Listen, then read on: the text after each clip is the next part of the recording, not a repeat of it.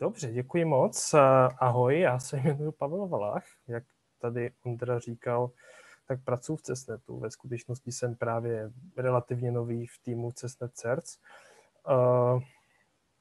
A připravil jsem si pro vás malou dneska prezentaci na téma IPv6 v videokonferencích a video Eh, streamingových službách a jakým způsobem, uh, streamingových službách myšleno tedy hlavně videohovory a tak.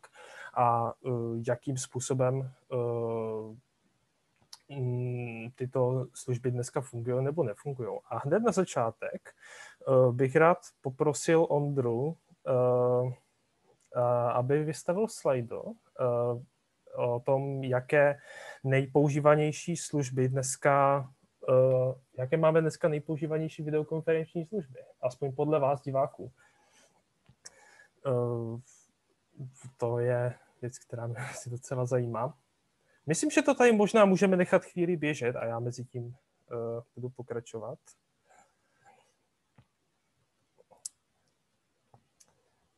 Tedy dneska uh, bych chtěl na začátku představit hlavně metodologii testované klienty, nej, dle mého nej, názoru nejpoužívanější vící platformy. Uvidíme, jestli se protneme s tím, co je na tom slajdu. A uh, dle mého názoru nejpoužívanější běžné komunikátory a to, jakým způsobem a zda uh, fungují po IPv6, případně jak, nějakým způsobem uh, budou fungovat uh, třeba přes nějaký relay. Je tady bohužel i celkem dost věcí, které se nevešly a snad se k ním dostaneme ještě příště nebo třeba na nějakém blogu nebo tak. Mm, ono, ten, ono to, že uh, nějaká uh, služba funguje po IPv6, uh, nemusí nutně automaticky znamenat, že budou třeba fungovat i videohovory po IPv6. Těch faktorů, které tam hrají v roli, je docela velká řada. Je třeba konektivita, jednak ta konektivita k té službě na straně klienta, pak to, jestli ta služba vůbec má čtyřšestkový záznam, Ehm, samotný server eh, WebRTC a další media servery na to musí být připravené.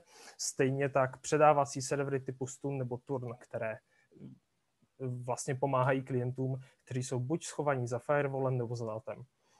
Alespoň v dnešním IPv4 světě. Ono není úplně bez zajímavosti, že třeba Turn je často potřeba i na šestkových sítích a to právě z toho důvodu, že eh, na příchozí cestě eh, příchozí cestu blokuje nějaký firewall, ať už třeba mobilního operátora nebo klientský router. Eh, a úplně jako trošku dávám stranou podporu na straně klienta, protože si myslím, že tam vlastně je hodně věcí už eh, udělaných, vlastně jak jsme viděli v prezentaci Radka Zajíce tady před chvílí, jak, zmiňoval, takže že v podstatě většina aplikací už dneska funguje z DNS 64 na 64. Ale to není to, čemu se dneska chci věnovat. Dneska se chci věnovat tomu, uh, zda uh, funguje to čisté šestkové spojení bez jakýchkoliv překladových mechanismů. Mm, takže použil jsem k tomu vlastně konektivitu od Cessnetu. Eh, mám tady dva testovací body, řekněme, eh, které jsem použil, jeden na Synku Local, jeden v NTKčku a zároveň jsem eh, si pořídil další Synku od O2, abych mohl testovat blokovaný příchozí provoz. Při testu jsem použil poměrně velké množství systémů. Jediné, co jsem neměl a co asi trochu mě mrzí, že je iPhone a Mac, které by možná s těmi kartami zamíchaly. Nicméně vzhledem k tomu, že iPhone a Apple od nějakého roku 17, 16, nejsem si teď jistý, nepouští do svého storu aplikace, které by nefungovaly bez podpory šestky, tak ta situace tam nejspíš bude velice dobrá. Eh, a mm, pak jsem eh, otestoval vlastně dva naše nejpoužívanější prohlížeče, tedy Mozilla Firefox a Google Chrome. U Mozilla Firefox mám i poslední beta verzi, a to proto, že uh, se v poslední, této poslední beta verzi stalo ně, v podstatě, že, že některé, uh, že, že v podstatě šestka na ní začala z nějakého neznámého důvodu fungovat, a, ale k tomu se možná ještě dostanu. Podíváme se, jak, jak vypadá Slido. Uh, koukám, opravdu je toho tady velké množství, velké množství Teamsů, nějaký Google Meet, Zoom, Jitsi, takže jsem se celkem trefil, koukám. Tady okrajově trošku Webex, uh, Skype a další, Discord. to je právě i o tom rozdělení. Já jsem si nebyl úplně jistý, uh, ne, nebyl jsem si úplně jistý, jak to rozdělit. Tomu se uh, tam, uh, že vlastně máme nějaké videokonference a máme nějaké, uh, máme řekněme platformy pro videohovory a to rozdělení mezi nimi není úplně čisté, není úplně jasné, což jako vlastně nevadí tolik. Tak, takže děkuji, děkuji za to první slide a hned se připravte na druhé, protože vlastně jsme měli čtyři různé způsoby chování aplikací ve chvíli, kdy, kdy nějakým způsobem uh, klient má pouze IPv6 konektivitu a tohle byly, řekněme, nějaké uh, vzory chování, které jsem, které jsem odpozoroval v různých aplikacích. A uh, rád bych opět poprosil Ondru, jestli by byl schopný přehodit teda to slajdu zase na moji druhou otázku. Eh, jak se myslíte, že si zachovají aplikace nebo prohlížeče eh, pouze s IPv6 konektivitou? Tedy jestli klientská aplikace spadne, webový server eh, nemá čtyřkový záznam, takže nebude schopný se aplikace připojit, zda bude fungovat třeba chat základní operace, a nebo zda bude opravdu fungovat vše, včetně videohovorů.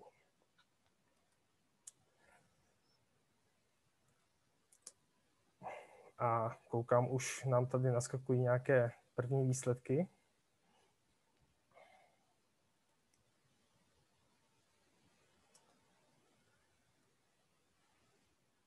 Koukám, že nejsme, nejsme moc velcí optimisté, ale není to, není to zase tak strašné.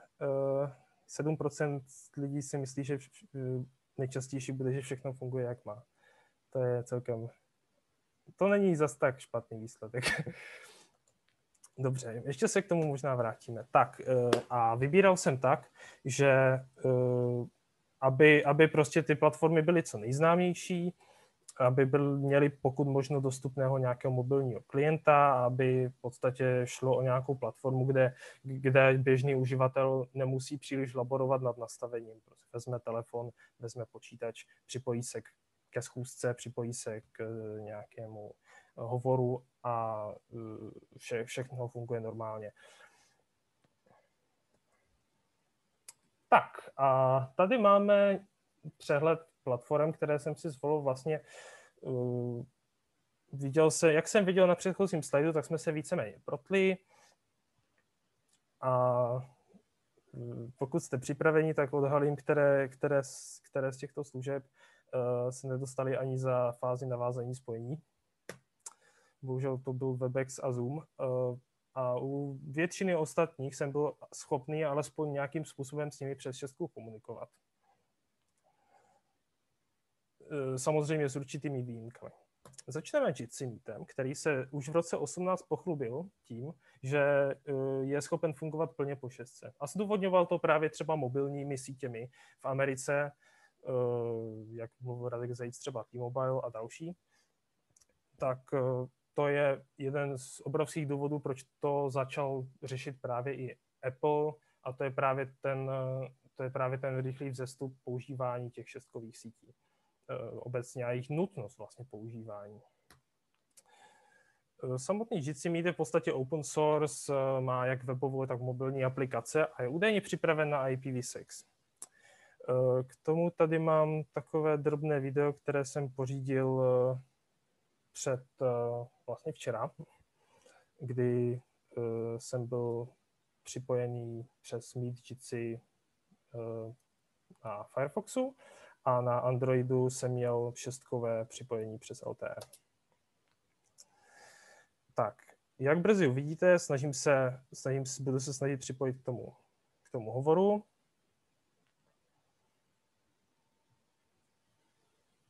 A jak vidíte, tak eh, až, až se snaží, tak mu to prostě nejde.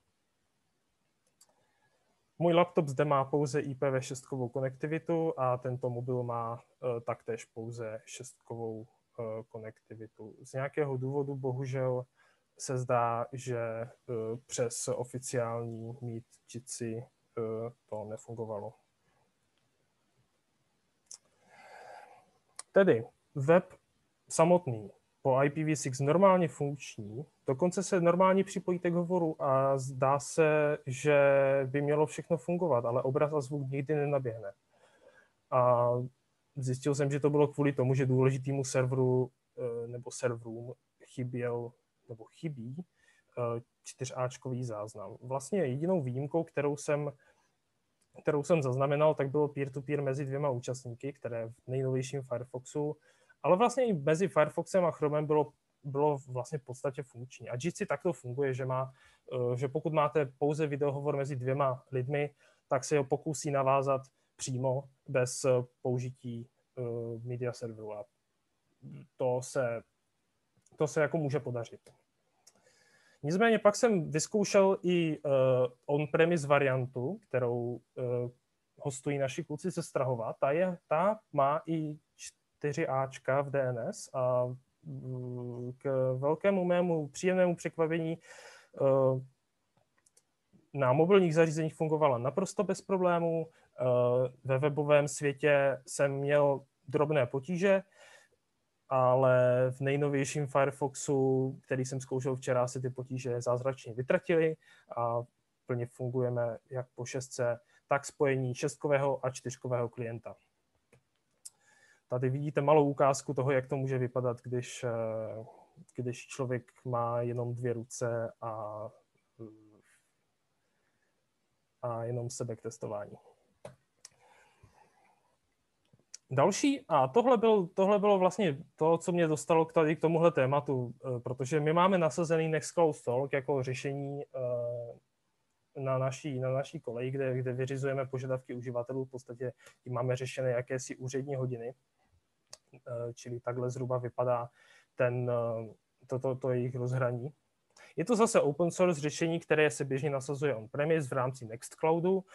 Eh, má jak webovou, tak mobilní aplikaci, zase svoji vlastní samostatnou, hlavně kvůli výkonu, dělá se to kvůli výkonu.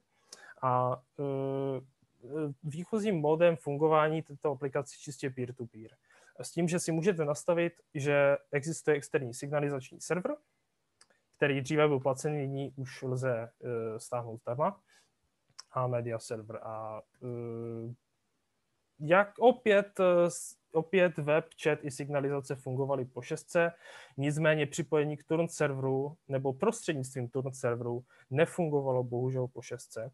A ani peer-to-peer hovory se v mých testech nespojily po šestce, kde si nejsem úplně jistý, zda jsem nedělal něco špatně, ale žádným způsobem se mi toto nepovedlo zprovoznit. Jedno řešení, které popíšu jenom velice obšírně, neboť jsem měl technické potíže s tím jej zprovoznit, je Big Blue Button, což je zase open source sada, řekněme, komponent propojených dokupy a dávající řešení pro výuku. Všechny komponenty eh, by měly fungovat se šestkou. Bohužel jejich testovací server, na kterým jsem to chtěl otestovat, tak sice funguje po šestce, ale není, eh, nespojí se hovor po šestce. Ale zřejmě šestku podporuje, jednak teda podle issue a jednak podle zkušeností by to snad nemělo být problém, ale to vyžaduje další testování. Eh, trošku vedle, eh, vedle toho všeho je Janus Web RTC server, což je v podstatě eh, server pro všeobecné použití, ale ten šestku podporuje. Bohužel nikoli v domovská stránka tohoto serveru, kde si taky, kde taky existují dema. ale, ale, měl, ale vlastně neměl by existovat jediný problém v používání tady toho serveru přes šestku.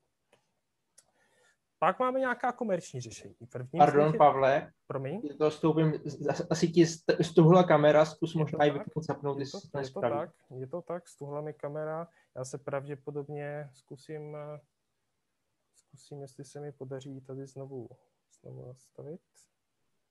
Moc se jí nechce. Hmm. Hmm. Tak to asi tak dojedeme si, jenom audio. Tak to dojedeme audio. Když tak já tady mám ještě jednu kameru, ale to nevadí. To nevadí. Tak. Tak, tak pojedeme, tak pojedeme takhle. Tak už byste mi měli znovu vidět. Ano, ano, vidíme, skvělý. Tak, úžasné. Takže teď se přesuneme k Microsoft Teams, což je komerční řešení, které využívá nejenom velké množství škol, ale také organizací, kde web i chat funguje po šestce, ale autorizační a autentizační server uh, šestku bohužel nemá. Takže i když se náhodou na tým tým si dostanete z čistě šestkové sítě, tak redirect skončí neúspěchem, případně uh, jakákoliv operace směřující k přihlášení skončí neúspěchem. A tady je to, to v podstatě v tomhle stavu pro takovéhle použití nepoužitelné. Ale web a chat fungují. Ve chvíli ovšem, kdy se pokusíte připojit k hovoru, tak spojení se nenaváže, místo toho jste přesměrování zpátky do, uh, do obrazovky chatu. A jedna zajímavost, co se, co se stala čistě s Teamsy a s žádným jiným řešením, co jsem testoval, že desktopová aplikace pro Linux v nepřítomnosti IPv4 adresy nebo funkční IPv4 trasy nakonec skončila v restartovací smyčce a nedokázal a potře- musel jsem jí zabít. Hmm. Teď k, řekněme, k premiantům, kteří uh, zase Zase Google Meet je opět komerční řešení, webová mobilní aplikace. Člověk už si může nějakou dobu zakládat, zakládat videohovory pro osobní použití. A s Google Meetem jsme, jsem zaznamenal plnou funkčnost jak ve Firefoxu, v nejnovějším Firefoxu, tak v Chromu i v aplikaci pro Android. A to jak mezi šestkovými, tak čtyřkovými klienty navzájem. Tady zase jeden uh, důkaz osamělého testera. A druhý důkaz osamělého testera.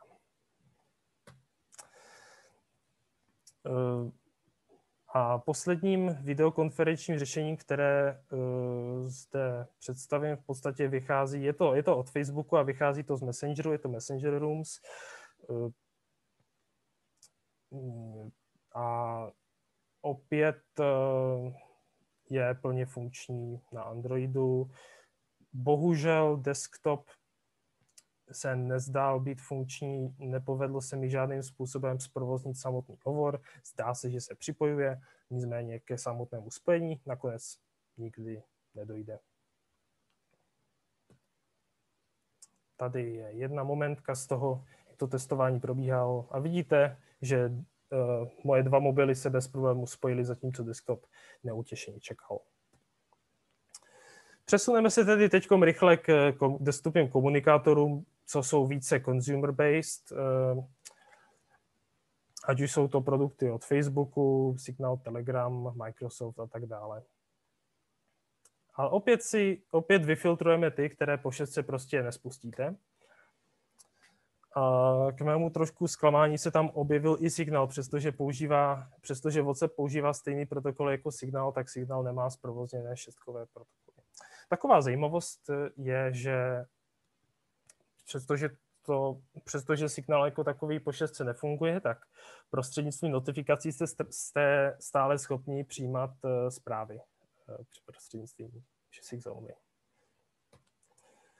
Uh, tak teď už jenom rychle letem světem Telegram, eh, který po šestce fungoval, který má otevřený zdrojový kód a také otevřenou specifikaci protokolu, tak má funkční chat, eh, funkční signalizaci, ale nikoliv, nikoliv samotný stream, nikoliv eh, vlastně vytáčení hovoru si zasekne již na fázi předávání klíčů. Přesto jsme se dál nedostali a to ani mezi dvěma šestkovými klienty, bohužel. Tak a WhatsApp samotný s, společně s Messengerem byli v podstatě vítězi, dá se říct, tady tohoto, protože eh, přestože je to Facebook a jsou proprietární, tak eh, na mobilních zařízeních fungovaly naprosto bez problémů. Eh, na desktopu bohužel zase to nebylo tak jednoznačné. Opět Messenger i WhatsApp fungují na desk, v desktopových aplikacích, fungují po IPv6 only síti. Ale ve chvíli, kdy se pokusíte z desktopu zavolat na mobil nebo z mobilu na desktop, tak se spojení prostě nepodaří. Nicméně eh, se mi podařilo zprovoznit alespoň peer-to-peer hovor mezi Firefoxem a eh, Androidem, který eh, byl na IPv6 only síti. Vlastně který byl na podobné síti. Tím pádem, tím pádem na, na sebe ty přístroje vlastně přímo viděli, nebyl tam žádný firewall a tyto dva, tyto dva přístroje se bez problému spojily, což bylo, což bylo docela fajn. A tady zase jedna momentka z tohoto videohovoru. Měl jsem, měl jsem zde zmíněný i Element a RocketChat, nicméně tyto technologie v zásadě používají uh, Jitsi pro své fungování. Uh, takže tam, uh, tam je to celkem jasné, ale vím, že Matrix a jejich uh, domovský home server má šestkový, uh, má šestkový Jitsi, takže to funguje dobře. Závěrem bych tedy jenom chtěl asi dodat, že uh, IPv6 uh, já považuji už celkem za mainstreamovou technologii. Bohužel problémy se videohovorům stále nevyhýbají, nedá se říci, že by to bylo bezproblémové. Eh, pokud byste se dostali do nějaké IPv6 zóny sítě, kde jsou funkční přechodové mechanismy, tak vám zřejmě bude většina věcí fungovat, eh, ale eh, na těch pouze šestkových je stále co dohánět, zejména v oblasti desktopových prohlížečů, desktopových eh, klientů a podobných. Já si myslím, že jsem se v téhle chvíli asi celkem vyčerpal a už mi stejně asi přetéká čas. Takže tímto vám poděkuju. Já se mezi tím podívám, jak dopadlo to slajdo a jestli tam máme nějaké dotazy. Tak, uh, uh, takže... První, teda jak dopadlo takže... slajdo, tak teď ukazujeme, jak dopadlo slajdo, takže... Tak to, takže dopadlo se trefili, řekněme. Celkem, celkem jo, celkem jo. Je, je to tak, že ono se to vlastně v, nějakým způsobem rozložilo mezi, ty, mezi, mezi to, že nefunguje DNS a že, že funguje chat, ale nějaká komponenta pro hovory není úplně, eh, nebyla úplně funkční. Tak pak tady máme dotaz, ale on to není tak úplně dotaz, je to spíš komentář. Jan Vondráček píše, pochvalně mručím, hodně náročná práce s přínosným náhledem na situaci. Děkuji. Děkuju, kež bych na ní měl více času, nedá se říci, že, že jsem s tím úplně spokojený, ale, ale děkuju. Já musím říct teda, že jsem taky jako velmi mile překvapen, teda přímě řečeno vůbec jsem nečekal, že by, že by jako takový produkt, jako je, jako je WhatsApp nebo Facebook Messenger, takže by fungoval na IPv6. Myslel jsem, že zrovna tohle jsou věci, které jsou prostě kompletně eh, jako takové ty V4 only a fungují jenom, jenom, s, eh, jenom s přechodovými mechanismy. Já ještě teda za sebe tady můžu říct, že mám tady, používám Zoom, používám ho na Mac OS nativně a uh, mám připojený počítač do sítě, která má IPv6 only a nad 6.4 DNS 6.4 a funguje to úplně bezproblémově. A samozřejmě všechno prochází tím překladačem, to znamená, že uh, pokud je v té síti nějaký překladač, tak samozřejmě ten test by dopadl mnohem líp a možná by bylo ještě zajímavé zjistit, jako, které uh, videočety si neporadí ani s touhle situací, kdy je v síti překladač na 3.4 a vyžadují opravdu funkční jako IPv4, IPv4 jako takový. To je pravda. Dost jsem uvažoval, že ten test provedu, nakonec, nakonec z časových důvodů jsem to takhle omezil. Ona ta matice těch stavů, který pak můžou být, je strašně veliká. No. A jako proskoumat všechny je poměrně časově náročné. Možná bychom to mohli jako crowdsourcovat. Mm-hmm. Eh. možná, možná ano. Pokud někdo máte zkušenosti, tak se rozhodně můžete ozvat i do slajda, i, i, i vlastně kdykoliv. Mm-hmm. Eh, tak, takže já moc děkuji ještě jednou. Eh, tady je eh, virtuální, virtuální potlesk ode mě